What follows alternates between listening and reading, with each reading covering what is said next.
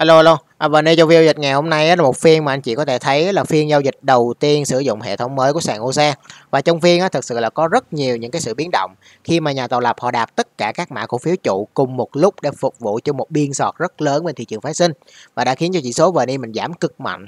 Và có những lúc là thủng luôn cả những vùng 1.400 điểm mà về lại những cái vùng 1.394 điểm.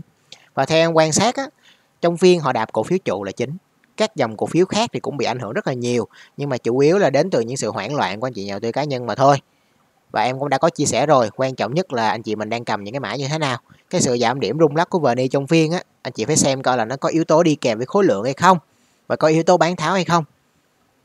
Với một phần em nghĩ á, là nhà tạo lập trong phiên ngày hôm nay họ cũng đang muốn kiểm tra cái tâm lý cũng như là kiểm tra hệ thống mới. Bằng cách như thế nào? Tiện đường công tác họ đạp mạnh rũ bỏ tạo ra tâm lý bán tháo thoát hàng ra để kiểm tra khi mà bà con lo sợ, bà con hoảng loạn, sửa lệnh liên tục thì hệ thống nó có ổn hay không, có bị tắc nghẽn hay không. Và đồng thời cũng là một nhịp rũ bỏ cực mạnh, hấp thụ lại lượng cung cực kỳ tốt cả về mặt cung cầu và về mặt kỹ thuật. Và cái phiên rũ bỏ này em đánh giá là cực kỳ thành công anh chị ha. Và trong phiên á, thì em đã có chấn an anh chị nhà đầu tư trong nhà em. Lúc đó khoảng tầm à, 10 giờ 45 phút. Đây nè anh chị, à, 10 giờ 49 phút nè. Đây, à, cả nhà quan sát chưa có hành động gì hết à, thị trường đang có những sự rung lắc khá mạnh nhưng mà Techcombank vẫn ok đúng không? Đang có yếu tố ép nhà đầu tư. Cả nhà quan sát chờ em báo. Nhịp rủ này rất gắt mà rủ thành công là cực kỳ tốt. Và hôm nay thì nhìn chung là em cũng à, tương đối là hơi hưng phấn một tí đúng không? Em thả rất nhiều những cái icon thể hiện sự vui vẻ. Tại vì sao? Thành quả à, thành quả mà room khách hàng em đạt được. Ha anh chị room khách hàng mà có lãi đó chỉ là niềm vui. Anh chị ha? Nhìn chung á, những cái lúc nào mà tâm lý anh chị nhà đầu tư mình mà hoang mang nhất là lúc đó em sẽ đồng hành với anh chị mình. Anh chị đọc những cái đoạn à, chat ở trong room á, thì anh chị mình cũng đã an tâm hơn phần nào rất là nhiều, đúng không? Với hôm nay một điều nữa, anh chị chú ý nữa là gì? Là gì anh chị? Là sự bùng nổ của dòng ngân hàng, đúng mà nhìn chung là em nói quá nhiều rồi, trong rất rất rất rất rất rất nhiều những video, đúng không? Bây giờ là thành quả chúng ta chúng ta đạt được anh chị ha. Dạ rồi chúng ta vẫn phải đi vào từng cái mã cổ phiếu từng cái dòng cổ phiếu để có được những cái nhìn mà nó khách quan nhất và nó toàn diện nhất. Anh chị ha. Đầu tiên á, vẫn là ACB của dòng ngân hàng anh chị ha. Nhìn chung thì em đã phân tích con ACB này trong rất nhiều những video rồi. Đúng không ạ anh chị mới có thể xem lại các video trước. Cái quá trình mà ACB nó xây cái cọc bê tông như thế nào nó đổ đất đổ cát đổ đá lên như thế nào nó xây cái móng như thế nào. Đúng không? Cái điều ACB cần là gì? Là tiền để cất cái nhà lên để xây cái tấm lên. À, thì tiền ở đây chính là gì? Cái khối lượng vôn tiền vào trong phiên ngày hôm nay. À, nó gấp 1,5 lần hoặc là gấp đôi cái khối lượng vôn trung bình trong cái vùng tích lũy. Rất là đạt. Biên độ giá tăng 5% đóng cửa vượt đỉnh không hề có yếu tố bán ngược. Nhìn chung á em có nói video trước đúng không? Tất cả những cổ phiếu ở trạng thái vượt đỉnh thì chúng ta không còn điểm mua nữa và chúng ta có cơ chế gọi là chặn lại. Vậy thôi. Anh chị ha nói ACB thì chúng ta phải nói MEB nhìn chung á, thì à, MEB thì cái quan điểm của em vẫn giống như các cái video trước không có thay đổi gì hết. À, thì em có chia sẻ với anh chị mình về những cái kiến thức về những cái vùng gáp những cái vùng khoảng trống đúng không? Khi mở gáp ra thì 80% phải được lắp xuống trở lại. Thì hôm nay có những sự rung lắc đến từ thị trường thì con MEB này nó tận dụng nó nó đạp lắp luôn. Và sau khi dòng ngân hàng có những sự bung nổ thì nó hồi phục lên trở lại rút chân rất là tốt rủ ra được cũng kha khá người nè cái vô này tương đối to nè. Đấy thì nhìn chung là cái video trước em cũng đã chia sẻ quan điểm rồi. Nếu như con này nó có những yếu tố mà nó nó đè xuống nha, nó không hồi, nó phải tích lũy lại dưới này khối lượng thấp, thì em mới xem xét cái vấn đề mua mới. Còn nếu rút chân lên tiếp tục duy trì một cái nền đi ngang, khối lượng vẫn lớn, hoặc tiếp tục tăng, thì anh chị nào có hàng cầm vô tư, không vấn đề gì cả. Cái điểm anh chị cần làm trong phiên ngày hôm nay là anh chị mình không làm gì hết. Không nên bán ra trong những dịp nó đạp xuống gáp như thế này. Anh chị ha, phải chờ nó hồi phục lên. Thì anh chị nào không bán ra là anh chị thành công anh chị cứ cầm bình thường. Đấy à, hạn chế mua gia tăng luôn nha. Tuyệt đối không mua mới tại vì nó không đạt những yếu tố. Ha, cái quan điểm em đối với con này vẫn như cũ. Anh chị nào có hàng cầm vô tư không mua mới thôi. Anh chị nha dạ rồi. Con này nhìn chung anh chị cứ cầm thôi có hàng cứ cầm. Con này mà nó nó đạp rút như này nó vẫn lên anh chị. Ha cái yếu tố t cộng của mình là tương đối rủi ro tại vì cái vô nó to quá. Nó sẽ bị xả xuống bất cứ lúc nào. Thành ra là anh chị mình có cầm thôi cứ khả dụng hàng là ok nhất. Nó kéo tới đâu mình mình chặn lại tới đó đó là hợp lý nhất cho anh chị nào mà mà cầm con MBB này. Còn bây giờ mà ai mà bị đeo bám trên này, tôi nói nhiều như thế này á, mà mua trên cái phần lãi của người khác á, là một sự cực kỳ rủi ro. Chị lưu ý nha. Rồi BID nè. Con này là một mã cổ phiếu trụ, thành ra nó bị ảnh hưởng bởi các con trụ khác, đạp rất sâu, đúng không? Và sau đó là về lại hỗ trợ bật lên trở lại. Và dòng ngân hàng có những sự bùng nổ thì con này nó cũng rút chân mạnh mẽ lên về lại những cái nền trên luôn. Nói chung con này thì so với ngày hôm qua này cũng chả có biến động gì hết đúng không? Nếu tính về cái cái biên độ giá đạp tuốt dưới này mà cuối cùng nó hồi lên tới tận đây thì so với ngày hôm qua nó không có khác gì hết. Đúng không? Cái quan trọng nhất anh chị nhìn những con như thế này, thứ nhất là khối lượng. Đạp sâu như thế này mà khối lượng không tăng, có nghĩa là cái lượng cung con này dần dần nó đã hết rồi. Anh chị chờ nó tích lũy đủ thì nó sẽ đánh thôi. Rất đơn giản. Ha, điểm mua ở đâu? Đúng không? Điểm gia tăng chúng ta sẽ đánh là ở những điểm như thế nào? Thì anh chị mình cùng chờ đợi con này anh chị ha. Dạ rồi. Thì CTG CTG thì nhìn chung mà em nói đúng đúng không? À, cứ về cái vùng mà 51.5 là nó có những sự nó bật lên trở lại. Nhìn chung thì anh chị nào mà cầm con này thì mình cứ chịu khó bên cầm tiếp. Nếu không thủng vùng 51.5 anh chị cầm bình thường thủng thì chúng ta mới cắt. Anh chị lưu ý ha, tại vì sao? Mua con này là nó đã sai rồi tại vì cái volume nó to quá. Nhưng mà những cái biến động đúng không? Như thế này nè không phải là nhỏ lẻ người ta hành động đâu. Có tổ chức họ hành động. Thành ra là họ vẫn giữ trên cái mức mà 51.5 thậm chí là trên 52 như thế này á, là có ý đồ. Thành ra chị cầm thì chị cứ tạm cầm đi, đúng không? Follow theo video trước, vậy thôi. Phiên ngày hôm nay thì đạp xuống rút lên. Nói chung con này chưa chạy ngay đâu. Tại vì sao? Cái vôn này chúng ta vẫn chưa biết họ đang làm gì. Mặc dù là họ vẫn đỡ, chưa thủng. Nên chị mình cùng chờ đợi ở những phiên sau. Anh chị ha. Rồi HD băng nè. HD băng thì à, mở gáp úp, đạp xuống rất sâu và hồi phục chung với dòng ngân hàng. Nhìn chung á, con này á những cái phiên bùng nổ của nó nó cái khối lượng nó không có đạt. Anh chị thấy con ACB bùng nổ không? Cái khối lượng nó phải như thế này nè đóng cửa phải quyết liệt như thế này nè. Ha còn con HD á, nó nó tăng lên theo kiểu như thế này á, nó không có bền. Thành ra anh chị nào mà đang có hàng HD băng á nếu ngày mai nó kéo lên tiếp anh chị mình chốt bớt 50 phần trăm đi. Anh chị ha cái phần còn lại chị mình cứ cầm. Xuất hiện thêm những cái cây no đi mình ba hay gì đó anh chị mình chốt hết anh chị lưu ý nha, những cái con như này, cái vô nó không đạt. Và khi vô nó không đạt á, nó rất dễ có những cái xu hướng mà nó tăng lên và sau đó nó test lại cái vùng đỉnh trước. Anh chị lưu ý nha, thành ra anh chị nào có con này thì anh chị cứ cầm. Ngày mai tăng tiếp thì bán bớt. Không mua thêm nha, tuyệt đối không mua thêm nha. Nó như thế. Rồi, liên việt nè. Hôm nay đạp rút chân rất tốt ha. Nói chung con này thì vẫn duy trì cái nền, nó cũng chưa có tiền lớn xác nhận gì đâu. Thành ra anh chị nào mà có con này cầm bình thường mua thì em có chia sẻ rồi, cái quan điểm của em thì cái con này nó không có hấp dẫn, tại vì nó nó có một cái nhịp chạy quá nhiều rồi, em không đánh giá cao, thành ra em sẽ không tham gia con này. Còn chị nào mà có tham gia rồi á thì chị cứ chờ, những cái phiên mà rút chân như thế này á thì khả năng là nó vẫn đánh về đỉnh cũ anh chị ha. Còn về vượt hay không á thì mình chưa biết. Hay nhưng mà cái quá trình mà nó nó có một quá trình chạy đứt rút mà phân phối lớn như thế này thì nói chung là nó tương đối rủi ro, thành ra em cũng không tham gia. À em chọn những cái con khác nó ok hơn. Không việc gì mà em phải chọn con này khi mà cái chu kỳ của nó gần hết cái cái cái cái à, cái, cái vòng xoay của nó tích lũy đẩy giá phân phối đè giá đúng không? Cái quá trình của nó sắp hết rồi thì mình hạn chế tham gia những con như thế này. Anh chị ha. Rồi mb msb nè. Msb nhìn chung anh chị thấy không? Rút chân đạp con này mai tăng tiếp.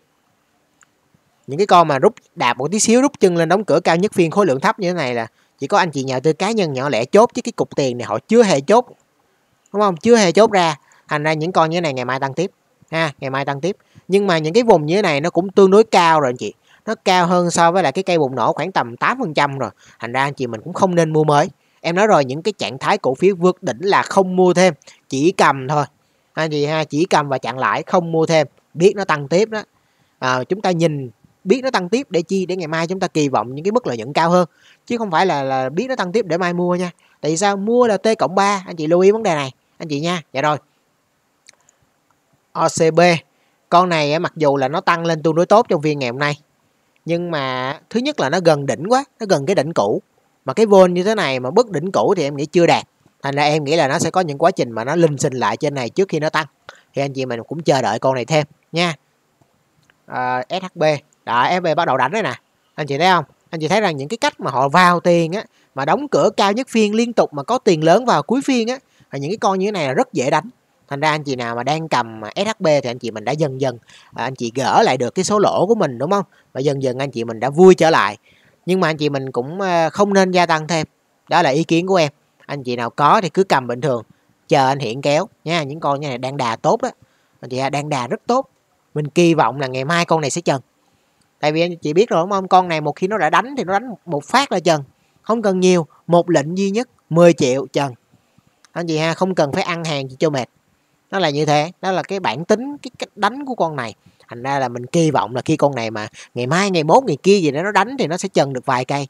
Anh chị nhà tư mình rất là vui. Anh chị ha nhìn chung cái đà đang lên như thế này thì không có việc gì chúng ta phải bán đúng không? Và cũng không việc gì chúng ta phải lo sợ cả. Thành ra anh chị nào có cầm SHB thì anh chị mình tiếp tục cầm mà chịu khó cầm nha. Đừng có thấy uh, chưa có hòa vốn rồi bán nha bán là dở nha. Cầm tới giờ rồi mà bán là rất là dở luôn á anh chị ha. Rồi STB nè. STB hôm nay đánh chung với dòng ngân hàng này chung dòng ngân hàng anh chị thấy là những cái con dẫn dắt nó đánh thì con nào nó cũng đánh chung đúng không? Có một số con nó bị những cái áp lực lớn thành ra là nó chưa có tăng ngay thôi nó là như thế. Thì con này hôm nay tăng rất tốt mà đóng cửa tăng à, 3,5% khối lượng lớn năm mươi mấy triệu cổ phiếu rất là ok ha. Nhưng mà con này thì nó có cái đỉnh cũ ở đây nè chúng ta coi coi là nó có vượt được cái chỗ này không? Hoặc là lên đây nó có gặp những cái phản ứng gì hay không? Thì lúc đó anh chị mình sẽ à, anh chị nào có hàng STB á, thì anh chị mình sẽ gia tăng ở những cái điểm trên này trước khi nó đi vào sóng đúng không? Tại vì sao con này chưa có bất đỉnh em có nói đúng không? Chưa bất đỉnh thì có thể là chúng ta linh sinh chúng ta vẫn có những cái điểm chúng ta gia tăng được cuối được. Còn khi nó đã bất đỉnh rồi thì chúng ta chỉ chặn lãi thôi. Không còn điểm mua thêm hay là cái điểm mua gì ở trên những cổ phiếu vượt đỉnh nữa cả. Anh chị lưu ý ha thành ra con STB này á, thì à, anh chị nào có hàng ở những cái vùng dưới này em chia sẻ với anh chị anh chị mình chờ những cái điểm trên này anh chị gia tăng. Còn anh chị nào mà bây giờ vẫn chưa có STB á, thì anh chị mình hạn chế mua giúp em nha em có nói cái video trước rồi đó. Cái việc mà anh chị mua ngân hàng bây giờ là nó đã quá muộn rồi. Anh chị ha. Rồi, Techcombank nè. Quá xuất sắc đúng không? Quá xuất sắc. Anh chị ha.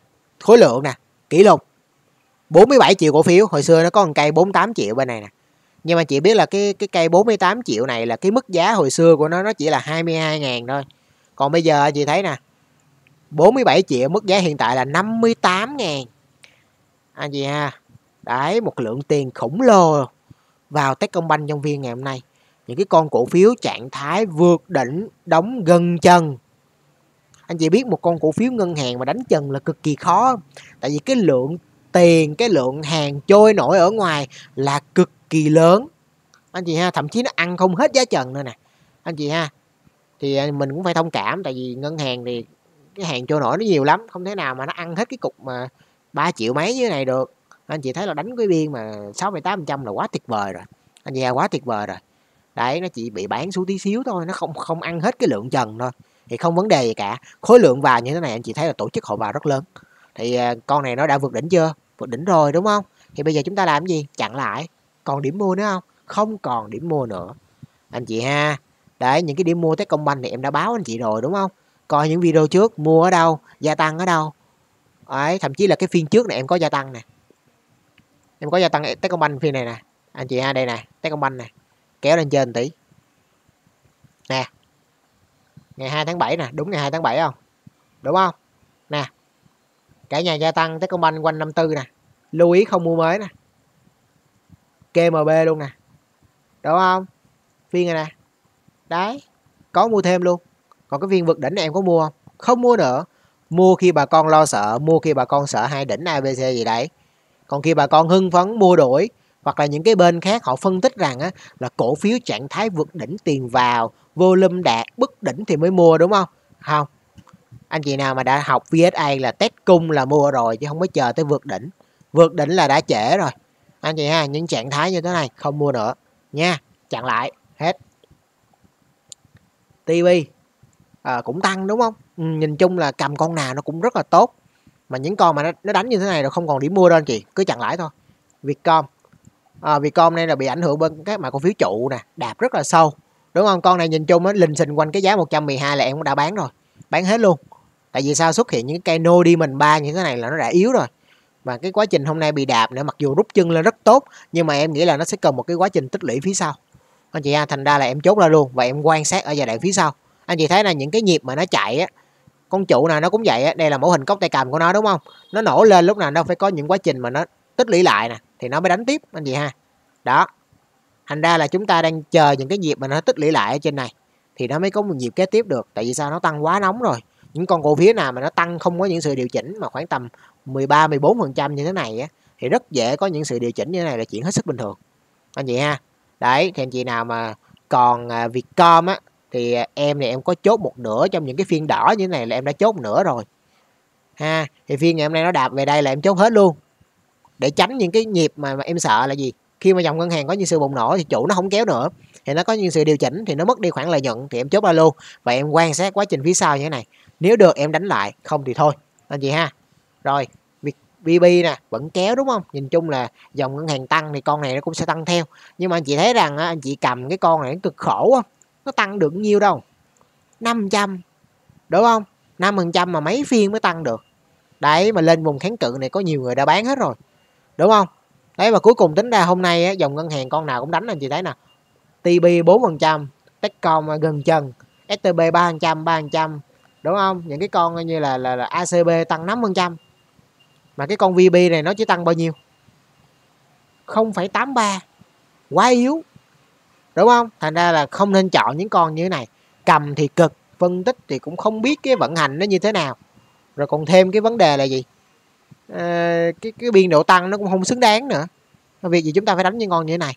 Đúng không? Rồi đó là dòng ngân hàng nhìn chung là những cái thành quả anh chị mình cầm bữa giờ lại hôm nay là những cái phiên mà chúng ta gặt hái. Còn nếu mua bây giờ thì nó tương đối trễ. Hả chị ha nhiều anh chị hỏi em là các mua được không? Rồi acb giờ mua được không em? Thì à, rất là khó trả lời anh chị ha. Nó tăng như thế này rồi là làm sao tư vấn anh chị mình mua lên cái khoản lời của người khác được. Anh chị lưu ý ha. Acb này, em gom những cái phiên như thế nào? Phiên này nè, phiên này nè, phiên này nè, phiên này nè, phiên này nè. Nó không? Liên tục bây giờ nó nổ được cây. Rất là tốt luôn. Đấy, những cái điểm mua tiêu chuẩn dưới 37 dưới 37 dưới 37 đúng không? Mình phải đánh như thế nào mình mới có điểm mua chứ? Làm sao mà chúng ta đợi tăng như thế này chúng ta mới mua được? Rất là trễ, anh chị ha. Rồi, qua dòng khác ha. Anh chị phải hiểu là trong phiên ngày hôm nay chỉ có dòng ngân hàng nó chạy thôi thành ra những dòng khác anh chị sẽ thấy là những sự rũ bỏ và điều chỉnh. Ha, nó sẽ chuẩn bị cho nhịp sau. Thị trường không phải lúc nào mà cái con dòng nào nó cũng tăng cùng một lúc được. Có nhiều anh chị hỏi là, ủa em sao hôm nay dòng ngân hàng nó nó tăng ghê vậy? Mà sao dòng kia nó không tăng? Anh chị thấy dòng ngân hàng nó cũng phải tích lũy biết bao nhiêu lâu nó mới tăng chứ. Thì mấy dòng khác nó cũng vậy thôi. Đúng không? Như anh chị cứ đòi là mình mua cổ phiếu nào là phải tăng liền. Nó khó vậy à, nè, con STB nè, nó đi ngang bao nhiêu lâu? Đó anh chị mình than lên than xuống biết bao nhiêu nó mới nổi được cây này. Techcombank nè than lên than xuống biết bao nhiêu nó mới nổ được cây này. Đúng không? Acb nè à, chậm của em chậm của em đó nó mới nổ được cây này. Đó chính là những sự vận hành về cung cầu. Anh chị phải hiểu. Anh chị ha đó là như thế. Cái con nào nó phải cần tích lũy nó lên hết. Đúng không? Có nhiều hồi trước anh chị nói là dòng băng hai đỉnh dòng băng ờ, này kia yếu đúng không? Thì yếu giờ nó chạy đó tại sao tích lũy đủ? Thì bây giờ dòng khác anh chị soi qua nó cũng vậy thôi. Ủa em sao dòng này nó chưa chạy em? Dạ tại tích lũy chưa đủ. Nó là như thế. Anh chị ha. Dòng dầu khí nè. À, uh, BVS nè vẫn tiếp tục đạp đúng không? Nói chung những cái con này nó đang trong một cái pha gọi là gãy nền rũ ha? Những cái vùng hỗ trợ như thế này là những vùng em thấy là tương đối tốt. Đây là những vùng tiền lớn họ vô. Thành ra những vùng như thế này em nghĩ là ngày mai nó không giảm hết đâu. Đây là những vùng hỗ trợ tương đối cứng. Thành ra ngày mai em nghĩ là nó sẽ linh sinh lại đây. Nhìn chung á cái kịch bản của dòng dầu khí nó phải tích lũy lại đây thì nó mới đánh tiếp. Anh chị ha thì nó đã muốn đánh gãy nền rũ thì nó phải vận hành như vậy thì nó mới có một con sống sao được. Đấy anh chị lưu ý. BVD nè nhìn chung BV nó rủ bữa giờ rồi ha. Thành ra phiên ngày hôm nay nhìn chung á nó chỉ ờ, rủ lại cái đuôi này thôi. À, thì em nghĩ rằng đây cũng là những cái vùng mà vùng gáp vùng hỗ trợ cứng của BVD thành ra khả năng ngày mai con này nó sẽ hồi phục lên và nó sẽ lên xình ở trên này. Để anh chị mình xử lý. Anh chị ha dạ rồi. Mà cái anh chị thấy cái volume này nó không còn lớn đó anh chị. Cái con BVS này volume hơi to nha tại vì sao? Nó trên đỉnh nó rủ nhưng anh chị nào đang có lãi ra thành ra nó tương đối nhiều. Đúng không? Còn con này bản chất nó chưa có tăng. Thành ra cái lượng cung trên vùng tích lũy á, nó rủ ra như thế này là tương đối gần hết rồi. Anh chị chờ đợi những phiên ngày mai anh chị ha. Rồi BVT nè đó con này giống như con BVS á. Ở trên cao á, mà nó nó đi ngang thì nó không nói, mà khi nó rủ thì cái vô nó sẽ to. Tại vì sao? Nó phải ép hết toàn bộ anh chị nhà tư mình đu ở trên này nè. Phải ra hết. Hoặc là những anh chị nào mua ở dưới này nè, có lời anh chị mình phải nhả ra hết mới được. Ha, thì cái con cổ phiếu này nó mới có nhịp sau được. Nó như thế, ha. Con này nè u cha con này đó không tích lũy đã cực rồi. Đã không lên nổi rồi, còn gãy nữa. Anh chị ha, rất là mệt. BLS BLS nay khối lượng thấp đạp như này bình thường. Em nghĩ là về những vùng này ngày mai nó lại bật lên thôi. Anh chị ha những con như này về hỗ trợ cứng thì ngày mai nó sẽ bật lên. À, bet nè. Đó con này vẫn lên anh chị thấy không? Con này cái đà đang tăng thành ra nó vẫn lên. Nhưng mà nó lên thì cũng lên ngắn thôi. Cái vô này tương đối tốt nè. Nếu mà trên đây nó có những, những sự linh sinh thêm vùng kháng cự thì khả năng con này sẽ đánh vượt. Anh chị ha. Oi nè. Nè đạp ha gas nè. Gas hôm nay nó bị yếu tố uh, điều tiết về các mã cổ phiếu trụ hơi nhiều. Thành ra chúng ta đánh giá con gas này thì nó cũng ờ, chưa chắc lắm, nó không khách quan. Hôm nay họ đạp trụ, ha, mang yếu tố điều tiết hơi lớn. Thành ra anh chị phải chờ là phiên ngày mai nó có trả điểm hay không, thì chúng ta mới có những nhận xét kế tiếp. Nhìn chung cái vùng này là cái vùng mà gác nó tích lũy lại ở đây. Thì nhìn chung là ngày mai em nghĩ nó không thủng đâu, ngày mai nó sẽ lên tiếp, anh chị ha. Về hỗ trợ thì nó sẽ có những xu hướng nó bật lên trở lại. Rồi BR cũng giống như con BVS thôi, nó phải rủ cái lượng nhà đầu tư trên này ra nè à, nhưng mà những cái vùng như thế này là những vùng hỗ trợ cứng là những cái vùng mà tiền lớn nó vô. Thành ra khả năng ngày mai nó đạp tiếp thì nó cũng khó anh chị ha. Nhìn chung khi mà nó rủ á, nó rủ tới một cái vùng nào đó nó sẽ có những sự nó hấp thụ lại. Anh chị yên tâm. Rồi. Nhà Vinh nè Vinh Home vẫn rút chân tốt ha con này thì em vẫn cầm. Ha vẫn cầm thôi. Nè hôm nay ờ, trụ nó bị đè quá anh chị ha nó bị yếu tố đè quá thành ra chúng ta cũng khó phân tích tại vì sao? Nó đè như này là có chủ đích nè. Con VRE mà bị bán sang luôn. Nè bán 700k sang luôn. Đấy mà sàn ATC nữa. Sàn như thế này thì mình không làm gì được cả mình không phân tích gì được cả. Đúng không? Tổ chức nó kê sàn như thế này thì anh chị thấy rất là khó. À, rất là khó. Trong phiên thì nó chỉ gãy một cái biên độ nhất định thôi. Mà vô cuối cùng vô mà sàn như thế này rất là ghê. Đúng không? Thì nhìn chung á quan trọng nhất là ngày mai nó có trả điểm hay không. Anh chị ha nếu như con cổ phiếu này mà ngày mai nó không trả điểm là cực kỳ xấu anh chị nha. Cực kỳ xấu. À, nó gãy như thế này là cực kỳ nặng nề luôn á. Những cái vùng tích lũy như này là tự nhiên nó không bứt lên được mà nó còn gãy như thế này mà gãy ATC nữa. Thì bỏ tay anh chị ha. Đấy rất nguy hiểm nha rất nguy hiểm. Thành ra những cái con mà kháng cự dài anh chị mình đừng có chơi. Anh chị ha đừng có chơi. Vinh Home nè Vinh Home tốt nè. Vinh Home rút chân như vậy ngày mai mà đánh tiếp được thì ngon. Anh chị ha đánh thêm một cây nữa bán là vừa đấy, là đạt được cái biên lợi nhuận tối đa của trụ là em thấy là ok nhất. Dòng khu công nghiệp, dòng này em nghĩ nó không nó không có tiến triển gì mấy đâu, anh chị ha. Dòng băng chạy và sức máy gì mà dòng tiền nó đổ qua đây được. Nè, thấy không? Bắt đầu rủ rồi nè. Những cái điểm này những điểm mà bay lên mắt nè. Có nghĩa là là phân phối một nhịp đấy, anh chị ha. Những con như này chị canh bán đi. Chờ đợi gì nữa? Nè KBC nè đúng không? Đó kháng cự nè dây nè rụng liền đúng không? Rụng mà vôn to nữa. Anh chị thấy là cái tỷ lệ là cái con này nó phải tích lũy lại chưa? Hoặc là nó sẽ có những cái mẫu hình mà nó rủ xuống chưa? Anh chị ha thành ra những cái vùng kháng cự mà ba bốn đỉnh như thế này á, mà kỳ vọng cho cái nhịp mà nó tăng lên á thì phải coi con ngày mai nó có giữ được hay không nha. Hoặc là nó phải có một quá trình nó đi ngang thêm ở đây mà cái volume nó phải kiệt đi thì khả năng nó mới đánh được đang có những sự đeo bám của anh chị nhà tư ở trên này tôi nói nhiều. Anh chị ha. Những con khác thì nói chung cái con dưới đáy thì nó chả có biến động gì đâu anh chị ha. Những con như thế này anh chị có anh chị nên bán liền đi. À, những cái dòng xương sống băng trứng thép anh chị phải cầm chứ cầm những con như thế này là anh chị mình không có lãi đâu. Những con à, lông hậu như thế này riêng con này thì anh nghĩ rút chân như này mai nó sẽ có một dịp mà nó bứt lên trở lại à, thì bước lên chị canh bán là vừa. Anh chị ha những con nào mà rút chân á, thì khả năng ngày mai nó sẽ đánh tiếp. Mà đánh tiếp thì lo mà bán đi anh chị ha. NTL nè con này thanh khoản tương đối ít. Mà nếu anh chị có thì con này nếu mà nổ thêm cây nên chị bán đi. À, đóng vừa kháng cự nè ha. Vẫn còn bị bán tí mai có một cây test đỏ đây nè. À, hấp thụ tốt thì những phiên tới nó sẽ đánh lên tiếp. Thì anh chị mình đạt được cái biên lợi nhuận khoảng tầm 29 30 anh chị bán là vừa anh chị ha, một số con này nó mạnh hơn những con anh em chung dòng. Thì có thể là anh chị có, thì anh chị mình có thể xem xét anh chị chốt lại. Vậy thôi. Phân bón nè. Đạp nè, thấy không? Đấy, bắt đầu có những nhịp đó, điều chỉnh nè. Nha, những cái vùng như thế này là đó, không bán cái là điều chỉnh ngay. Em em thấy là cái phiên này mà nó bán tục xuống một khối lượng lớn như này là đã nguy hiểm rồi. Anh chị biết những vùng cao mà bị bán tục là những thứ cực kỳ nhạy cảm nha. Mà bán tục nó phải có rút chân nha, nó phải có hấp thụ nha còn bán mà đóng cứng ở dưới là coi như đi rồi đó. Anh chị ha? Rất là nguy hiểm. Nhưng mà về tới đây thì em nghĩ là mai nó cũng không rơi đâu. Nha mai nó nó hồi xanh lên lo bán đi anh chị ha. Lo bán đi. Con này nó phải tích lũy lại. Em nói rồi em đánh dòng phân 6 lần rồi chị ha. Có lãi là lo chốt đi. Cái dòng phân nó chỉ nó chỉ cho mình ăn khoảng tầm ba hai ba cây đầu thôi. Tới cây thứ tư thì lo mà trả nó trả nó nó, nó xuống lại đó. Ha em đánh con đó bao nhiêu lần rồi? CMX nè đó gãy này chưa? Thấy không? Đó thấy chưa? Đó khi mà dòng tiền lớn nó quay lại những cái dòng lớn nó bắt đầu những con này nó nó đi bụi ngay. Những con như này mai mà nói chung là hồi được là bán liền ha đừng có cầm nữa.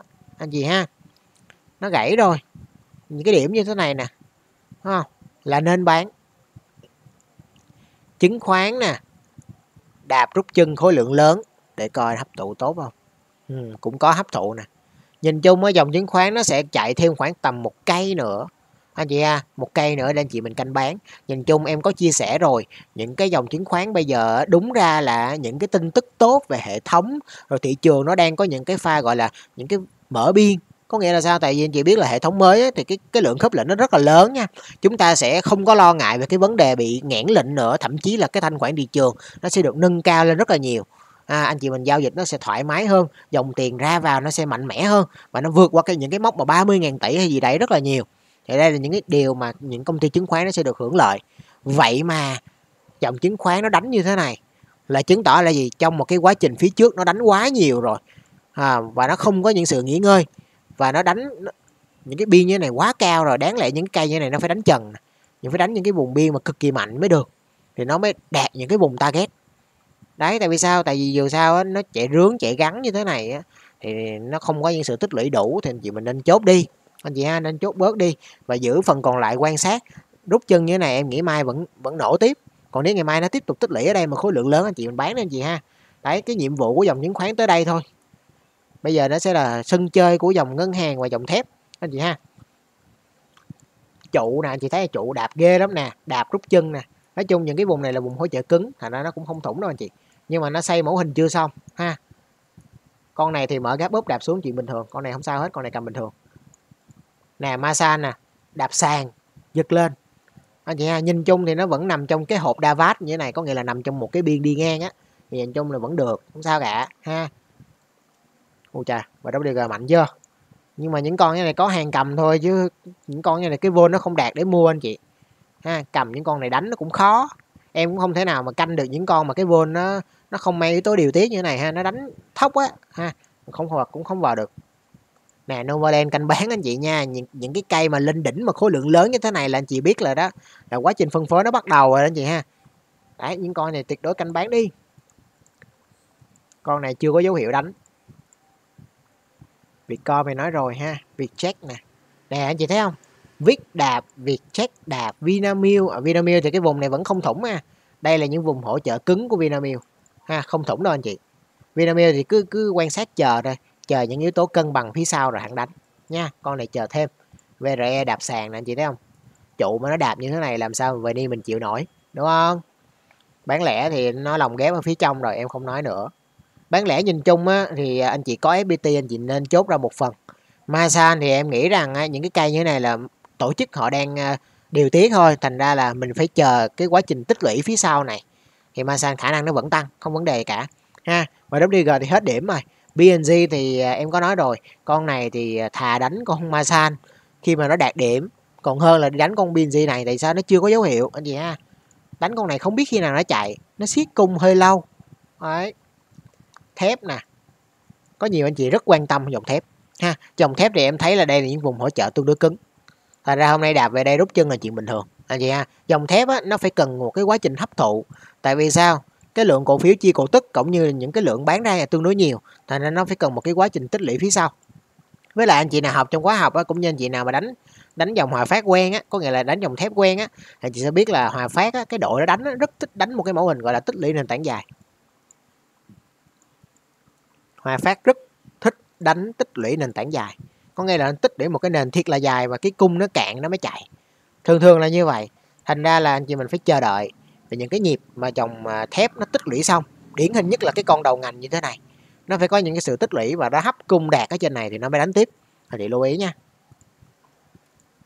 Anh chị biết về gọi là chúng ta phải nói là cái biên lợi nhuận á, là không có dòng nào bằng dòng thép á. không có con nào mà chạy 400% như thế này cả. Gấp 4 lần tài khoản là một con số cực kỳ lớn. Thành ra anh chị mình phải cho nó thời gian để nó tiêu hóa cái lượng cổ phiếu này anh chị không thể nào đò nó chạy liền được. Những con mà đúng ra nó chạy một một cái chu kỳ mà chạy 400 phần trăm như thế này là nó chưa tạo đỉnh là may rồi đó anh chị. Anh chị ha nó phải để một cái quá trình hấp thụ phía sau. Và em thấy hấp thụ như này vẫn tương đối tốt không vấn đề cả. Ha hoa sen nè đúng không? Đạp lắp gáp nè bật lên nè anh chị thấy không? Gáp 80 phần trăm mới được lắp lại nè. Đó chuẩn chưa? Khối lượng thấp không? Bình thường. À, cầm hoa sen hay cầm hòa phát nó cũng như nhau thôi. Nhưng mà em khuyến nghị là nên cầm hòa phát nha nam kim là đỏ vẫn mạnh, đúng không?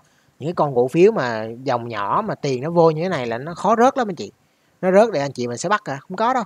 Đã đánh lên rồi làm gì có chuyện mà cho anh chị mình vô. Nó phải đánh lên tiếp là gì ha. Có thì cứ cầm.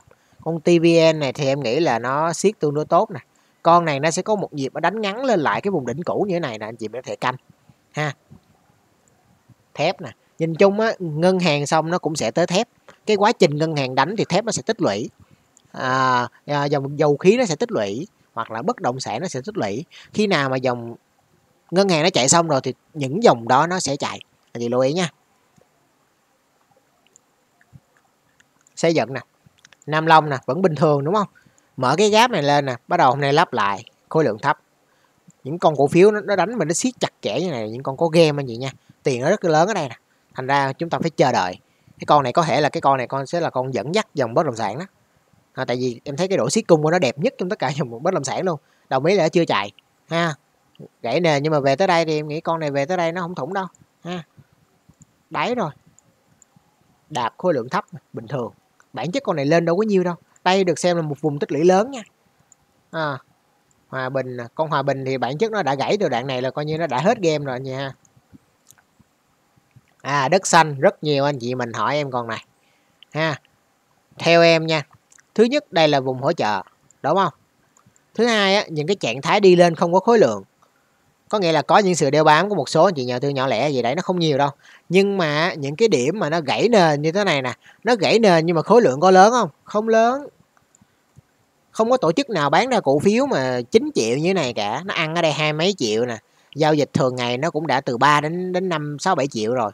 Mà nó gãy nền với khối lượng 9 triệu như thế này là em nghĩ không có yếu tố tổ chức bán ra thì những cái điểm mà gọi là điểm spring có nghĩa là điểm gãy hỗ trợ khối lượng thấp có nghĩa là điểm test đáy á, thì những cái điểm spring như thế này là những vùng quá bán. Thì khả năng là gì? Ngày mai nó bật lên anh chị ha nó sẽ bật ngắn thôi anh chị. Trước tiên là nó sẽ bật ngắn và nó tạo ra một cái biên cân bằng cái này trước khi đánh lên. Tại vì con này em thấy tổ chức nó không có ra anh chị. Cái vấn đề nó gãy thì nhìn nó ghê thiệt nhưng mà bản chất là tổ chức nó không có ra. Anh chị ha những cái điểm spring mà khối lượng thấp như này làm gì có ai mà tổ chức nào mà đi bán gãy khối lượng chính triệu cái con này giao dịch nó một lần nó phải ít nhất là mười mấy tới hai chục triệu. Thậm chí là nó, nó có thể đạp sàn anh chị ha cái con này chị biết khi nó muốn đạp là sàn. Mà hôm nay nó giảm có ba phẩy mấy phần trăm như thế này là anh chị biết nó đã có đỡ rồi anh chị ha. Nó có đỡ chứ phải không đâu anh chị. Anh chị biết là anh chị nào đánh đất xanh quen anh chị thấy là nó trần sàn giống như trò chơi vậy thích là trần thích là sàn à. Đúng không? Cái biên lợi nhuận đầu cơ rất là lớn mà những bản chất mà nó đánh mà nó vẫn có đỡ ở cái mức gọi là ba phẩy mấy phần trăm như thế này là chứng tỏ nó vẫn có đỡ. Chứ còn không đáng đúng ra cổ phiếu này nó phải sàn ngày hôm nay nó mới đúng. Nếu như hôm nay nó muốn đạp nó phải đạp sàn. Thì nó mới ok. À, đạp ba như này em nghĩ là nó vẫn đỡ. Ha? Cái điểm spring khối lượng thấp như này chỉ có thể kỳ vọng ngày mai. Đấy có thể là nó sẽ hồi lên.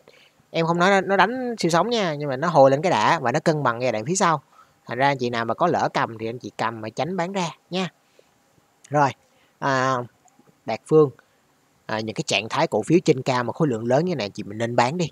Đúng ra là phải bán trên này nè. Cái cây đầu tiên mà nó to như thế này là lo mà bán đi nè. Ha còn để tới cái cây này là coi như xong rồi. Ha vậy ha. Là cái quá trình phía sau mình rất là khó đoán. Lưu ý. CTD nè rủ xuống nền khối lượng thấp bình thường không vấn đề đâu. Con này nó sẽ bật lên ngày mai nha. DG cũng đạp xuống khối lượng thấp nè. Không có tổ chức nào ra hàng khối lượng này đâu anh chị. Nè tiền vô nè rủ lại nè tiền vô nè rủ lại nè đúng không? Liên tục là những cây tiền vô rủ lại nhưng mà khối lượng có những sự kiệt dần về lượng cung. Có nghĩa là sao? Nó rủ hơi ác một tí nhưng mà cái quá trình tích lũy phía sau anh chị thấy là đây những vùng hỗ trợ cứng của nó nè. Đúng không? Thì khả năng ngày mai em nghĩ con này nó sẽ bật lên. Nói chung là hôm nay dòng bất động sản nó bị ảnh hưởng bởi thị trường.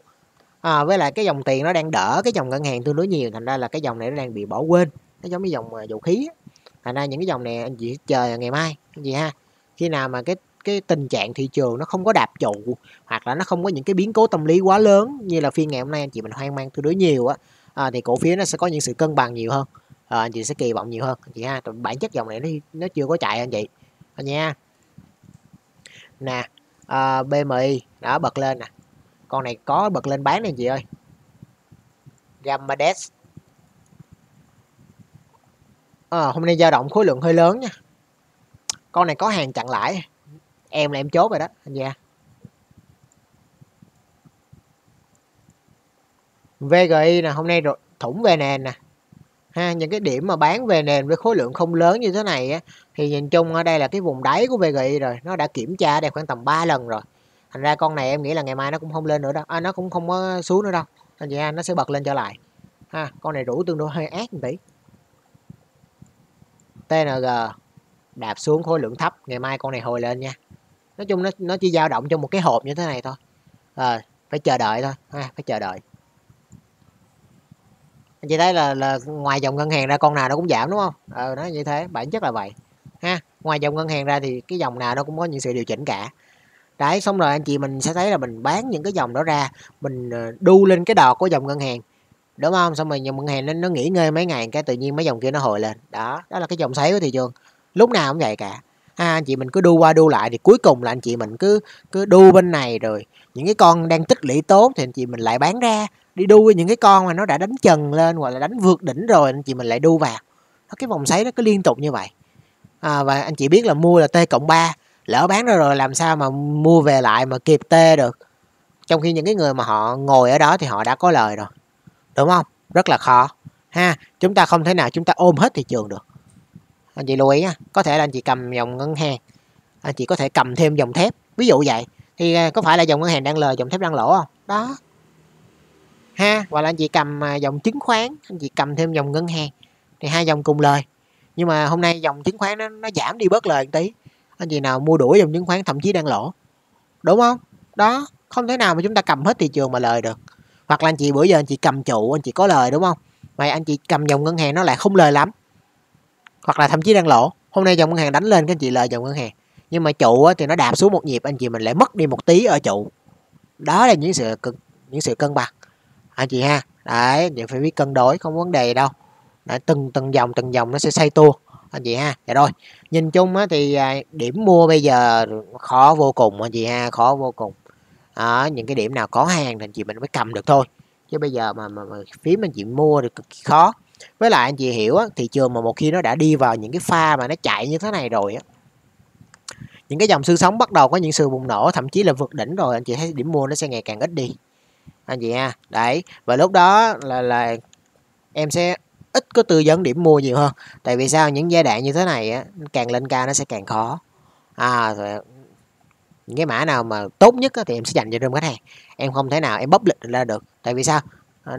Điểm mua nó đã khó rồi mà còn búp lịch ra nữa thì cái cái độ đeo bám của chị nhà tôi trên thị trường xem video nó quá nhiều. À, thì nó sẽ sẽ sẽ ảnh hưởng đến à, cái chất lượng đúng không? Thành ra là những cái điểm mua về sau á thì à, sẽ không có búp lịch ra nhiều. À, giai đoạn phía sau nó sẽ khó ăn hơn. Có thì à, đương nhiên là rung khách hàng em thôi. Nha dạ rồi em xin cảm ơn anh chị rất là nhiều. Dành thời gian tối nay xem video của em.